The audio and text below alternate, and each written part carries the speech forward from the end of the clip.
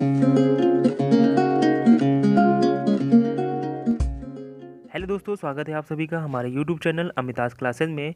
मैं अमित आज आपके सामने लेके हाजिर हूँ महत्वपूर्ण भारतीय स्थानों के उपनाम।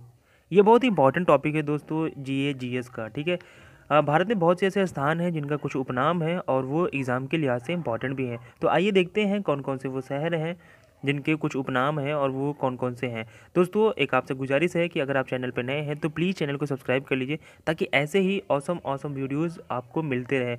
और दूसरी चीज़ ये कि आप हमारे नोट्स बना लीजिए एग्ज़ाम के लिहाज से। बहुत ही इंपॉर्टेंट इंपॉर्टेंट वीडियोज़ हम आपको देते हैं, ठीक है? और शॉर्ट वीडियोज़ देने की पूरी कोशिश करते हैं, ताकि कम समय में आप ज़्यादा से ज़्यादा अच्छी चीज़ें प्राप्त कर सकिए। चलिए शुरू करते हैं हम यहाँ पे। भारतीय स्थानों के उपनाम में सबसे पहले हम यहाँ पे बात करेंगे। भारत का स्वर्ग किसे कहा जाता है? तो जम्मू कश्मीर को भारत का स्वर्ग कहा जाता है, ठीक है? मैं थोड़ा सा जल्दी जल्दी करूँगा और आप देखते भी रहिए और पढ़ते भी रहिए और सुनते भी रहिए। गोल्डन सिटी कहा जाता है अमृतसर को और भारत का मैनचेस्टर कहा जाता है अहमदाबाद। देखिए, पूरे भारत का मैनचेस्टर अहमदाबाद को कहा जाता है और अगर डिवीज़न वाइज है तो वो आगे है, हम आपसे बात करेंगे उसमें।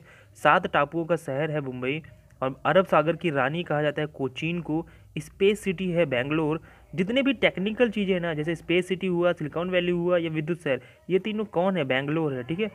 गुलाबी शहर जो है, जयपुर, बहुत इंपॉर्टेंट क्वेश्चन है। बहुत पहले से ये पूछा जा रहा है, करीब फिफ्थ या सिक्स स्टैंडर्ड्स का क्वेश्चन है कि पिंक सिटी कौन है? तो पिंक सिटी है हमारा जयपुर। चलिए, आगे हम बात करते हैं यहाँ पे। ट्विन सिटी कौन कौन से हैं? तो हैदराबाद और सिकंदराबाद जो है, वो ट्विन सिटी हैं। उत्सवों का शहर है, मदुरई, इमारतों का शहर है, कोलकाता दक्षिण या पुरानी गंगा। पुरानी गंगा किसको कहा जाता है दोस्तों? वो है गोदावरी। एक bowl of Asia Andhra Pradesh को कहा जाता है। सोया रीजन मध्य प्रदेश को कहा जाता है। पूर्व का वेनिस कोचीन को कहा जाता है, ठीक है? चलिए, आगे हम यहाँ पे बात करते हैं कुछ और।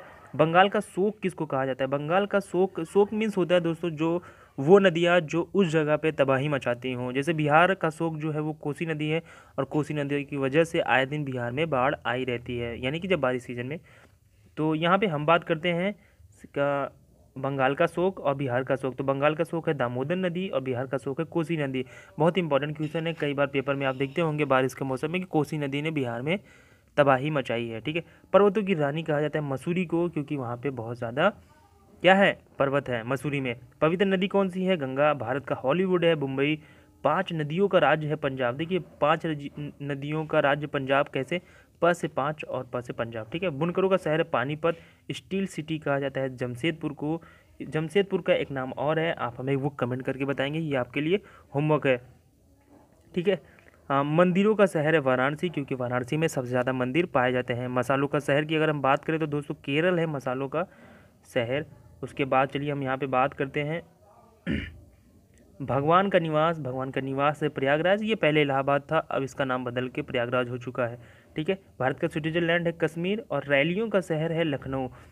एक और क्वेश्चन है दोस्तों, नवाबों का शहर किसे कहा जाता है? अगर आप यूपी से हैं तो डेफिनेटली आप ये आंसर बता लेंगे।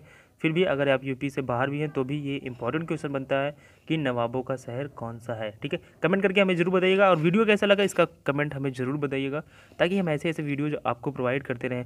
टॉपिक आप हमें ज़रूर बताया करिए दोस्तों, क्योंकि उसी के हिसाब से हम आपके लिए वीडियोज़ बना पाएँगे, ठीक है? आपको लगता है कि कौन सा टॉपिक इंपॉर्टेंट है, या आप उसमें वीक है, हमें कमेंट करके ज़रूर बताया करिए, ठीक है? तो वीडियो देखने आपका बहुत बहुत शुक्रिया, धन्यवाद।